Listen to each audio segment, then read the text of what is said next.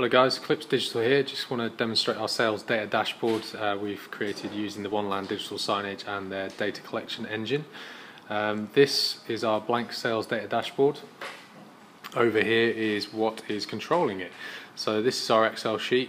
We've got uh, an option to change currency if we need to. We've got uh, dollars and euros there.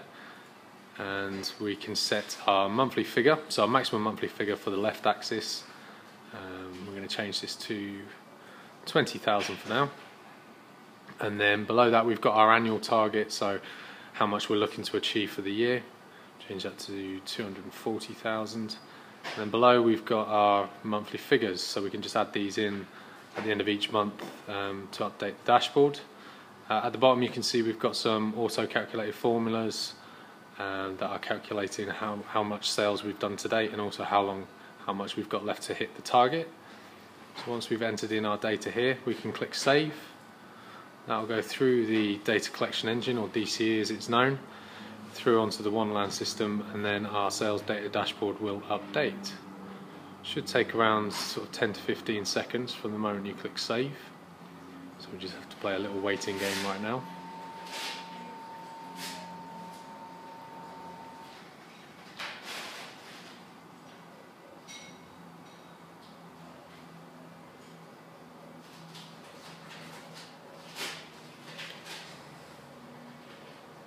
And there we have our data is updated and you can see our sales figures for each month populated in a bar chart. Also we've got the left axis and we've got our total sales to date and how much we have left until we hit our targets.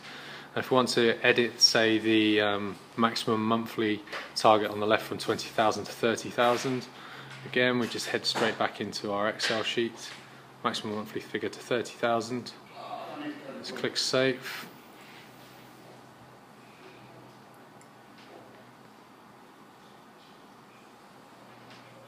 And what will happen is that the left axis will update to the monthly figures and the bar chart will automatically change to represent the appropriate percentage of that figure.